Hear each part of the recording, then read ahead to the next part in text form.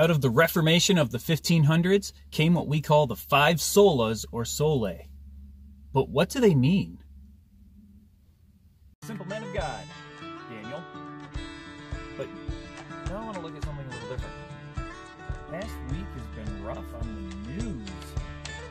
The great thing about videos, I can edit out stuff. That's also wrong. Let's talk about it.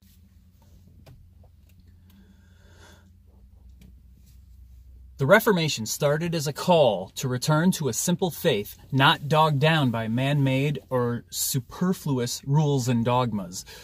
This is not the time for a debate about Catholic versus Protestant and denominational separation.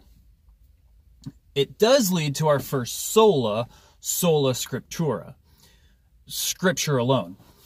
Basically, this means that all of our traditions and understanding about God Jesus and humanity should be based on what the Bible says about God, Jesus, and humanity.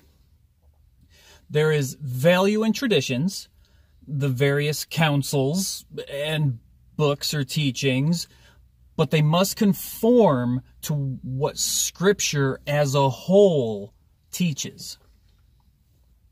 This includes the matter of salvation, covered in the next sole, sola gratia, sola fide, solus Christus, soli Deo gloria.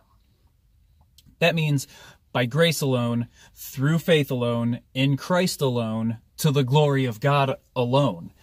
This was summarized by Paul in Ephesians chapter 2 when he said, But God, being rich in mercy, because of the great love with which he loved us, even when we were dead in our trespasses, made us alive together with Christ.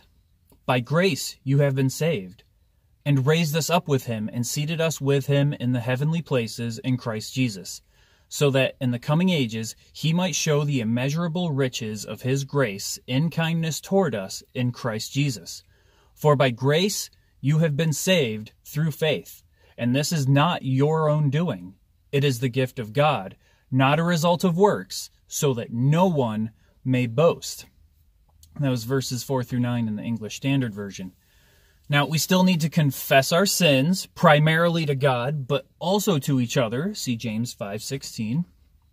We still do works, but as an act of obedience and love for the one who saves us. See 2 Corinthians 5:14 through 15 but it is only through Christ to the glory of the Father as revealed in Scripture that we are saved.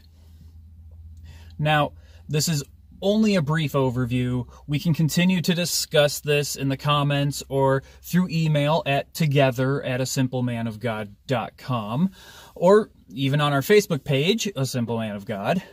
I'm sure there's going to be more videos and articles that I'll make discussing this. We'll see. Otherwise, this has been Give Me Five. And I think I did this in less than five minutes. Yeah, it's still lame.